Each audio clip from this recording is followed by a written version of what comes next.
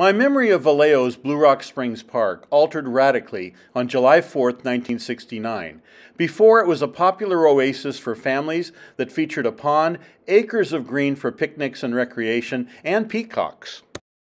The park was commonly used, but on that 4th of July evening towards midnight, it was empty with the exception of a single vehicle.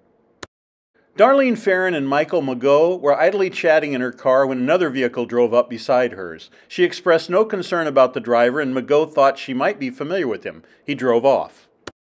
He returned ten minutes later and parked behind the couple. He approached the passenger side and blinded both occupants with a flashlight beam.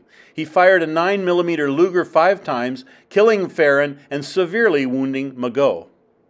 He would survive his wounds. 45 minutes later, the killer telephoned police calling himself the Zodiac. It was his second murder in six months and only four miles from his original site.